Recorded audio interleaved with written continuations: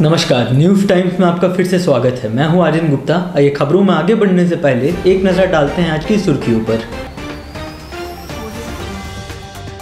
बाजारों में प्रवेश करने वाले अब हर शख्स की होगी कोरोना जाँच।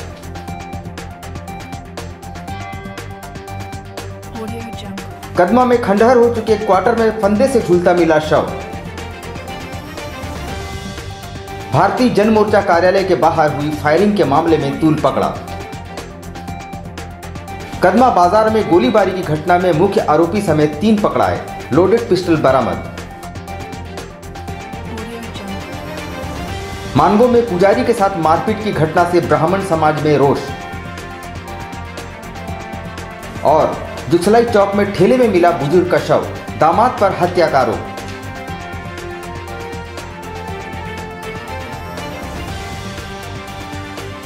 आइए, अब खबरों को विस्तार से देखते हैं।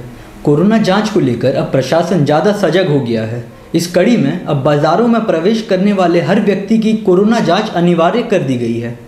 प्रशासन अब कोरोना जाँच के प्रति ज़्यादा सजग दिख रही है। पिछले दिनों बाज़ार के दुकानदारों की जाँच करवाई जा रही थी और अब बाज़ार में प्रवेश करने वाले सभी लोगों की जाँच अनिवार्य कर दी गई है। इसके लिए बाकायदा बाज़ार के तमाम एंट्री गेट पर जाँच शिविर जिला प्रशासन द्वारा लगाई गई है।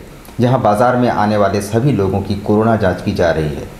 दंडाधिकारी के प्रतिनियुक्ति भी शिविर में है। स्वास्थ्य विभाग की टीम शिविर में तैनात है, जो अब सभी की जाँच कर रहे हैं। दंडाधिकारी के अनुसार, कोरोना जैसी संक्रमण बीमारी लगातार शहर में फैल रही है और अब स्थिति ये है कि सैकड़ों लोग इससे संक्रमित है। इस कारण से ज़्यादा से ज़्यादा लोगों की जाँच की जा रही है। वहीं उन्होंने अनुरोध भी किया है कि जिला प्रशासन द्वारा इस तरह के शिविर के माध्यम से निःशुल्क कोरोना जाँच की जा रही है और ज़्यादा से ज़्यादा लोगों को प्रशासन का सहयोग करना होगा।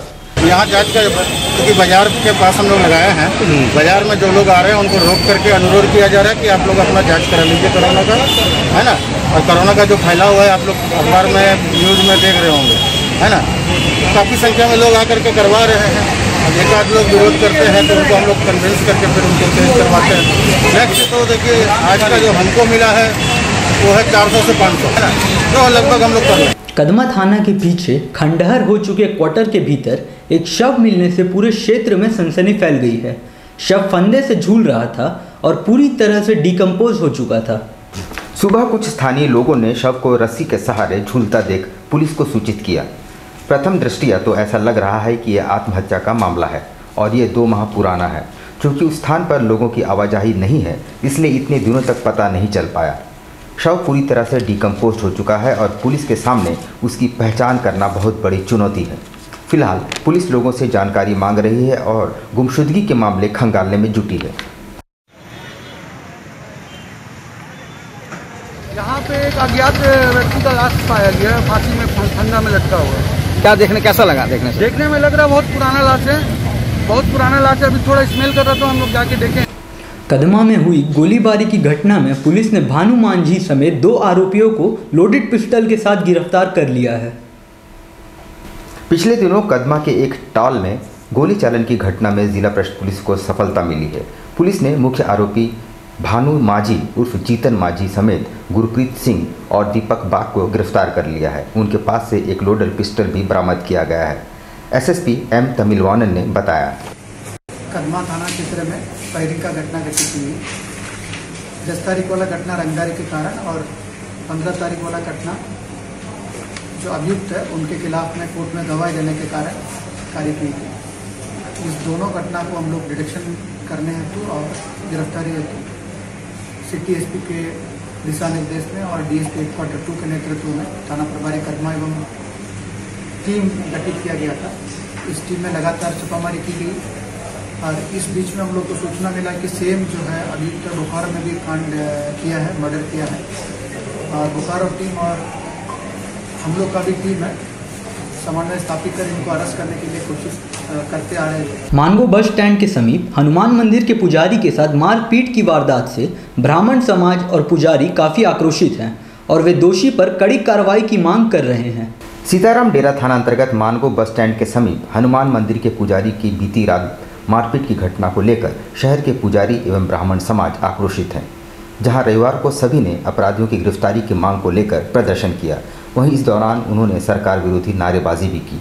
मंदिरों एवं मठों के पुजारियों को सुरक्षा देने की मांग भी उठाई। ठीक है, यहाँ पर पचास आदमी सब आए हुए थे और वो लोग पहले से बनाए हुए थे कि हमको मारेंगे। ठीक है, और हम जब यहाँ आए पूजा करने के लिए, तब वो बोलते हैं कि पंडित को मारो। तब तो हम मंदिर धो रहे थे, फटाफट मारने लगे हमको। कौन लोग थे वो लोग? तो एक तो कृष्णा रजक है अच्छा। और एक मुकेश है।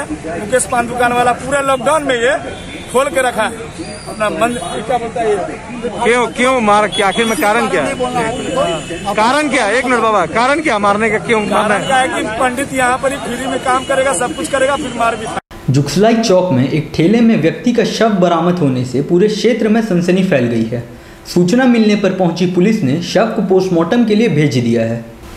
जुगसलाई चौक बाज़ार से सोमवार सुबह ठेला में पुलिस ने एक शव को बरामद किया। बताया जा रहा है कि व्यक्ति का नाम दीना बेहरा है और बीते रात दामाद के साथ झगड़ा हुई थी। स्थानीय लोगों का कहना है कि मारपीट के दौरान दामाद ने रॉड से मारकर दीना बेहरा नामक व्यक्ति को घायल कर दिया था। वहीं ठेला से अस्पताल जाने के दौरान जुगसलाई चौक बाज़ार के पास उसकी मौत हो गई। फ़िलहाल पुलिस घटनास्थल पहुंचकर मामले की जाँच में जुट गई है।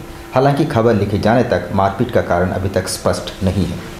रिक्शला चौक बाज़ार के पास गोल्फा दुकान के सामने एक ठेला में मृतक का शव पड़ा हुआ है।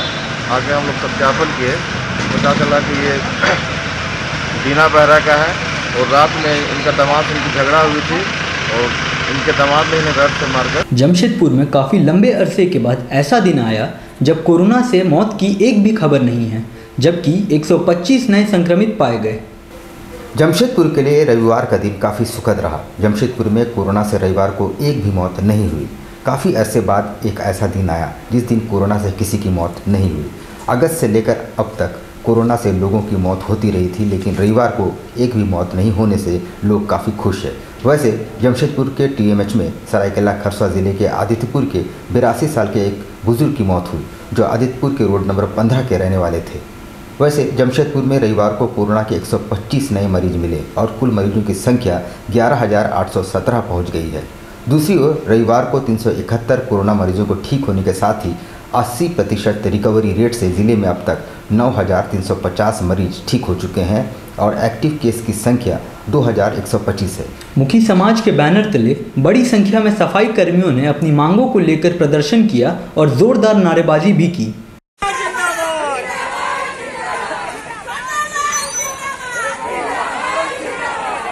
साथ में है ना? कहाँ आगे भाग रहे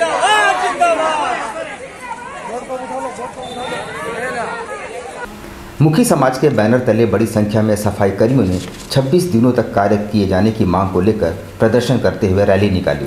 साथ ही कार्यालय समक्ष जोरदार प्रदर्शन किया। मुखी समाज के लोगों के अनुसार, जिसको प्रबंधन लगातार साफ़ सफ़ाई के क्षेत्र में कार्य करने वाले मुखी समाज के लोगों को 26 दिनों के काम से वंचित किया जा रहा है। साथ ही कईयों को काम से हटाया भी जा रहा है। ऐसे में मुखी समाज के लोग बेरोजगार होते जा रहे हैं जिस कारण से अब समाज को सड़कों पर उतरकर प्रदर्शन करना पड़ रहा है। प्रदर्शन कर रहे उन्होंने सभी को 26 दिनों का रोज़गार दिए जाने की मांग दोहराई है। अब लेते हैं छोटा सा ब्रेक आप कहीं मत जाइएगा ब्रेक के बाद खबरों का दौर जारी रहेगा। आप देखते रहिए news times blue moon super broadband service Kadma Jamshedpur the best home broadband experience. Contact 9386054900 91629745.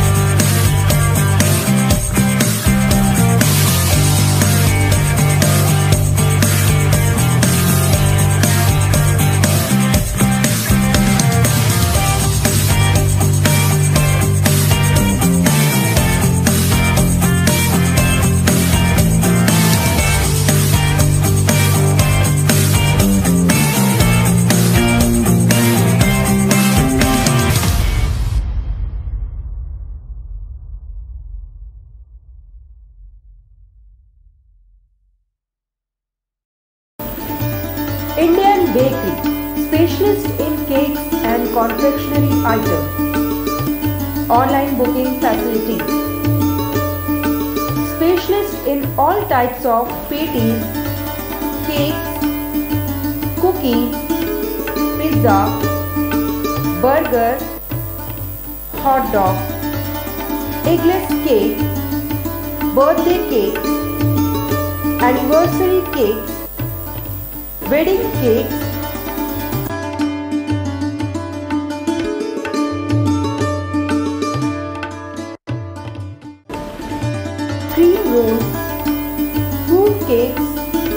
all types of biscuits, marriage anniversary cake, and school order specials. Please do visit with your friends and family.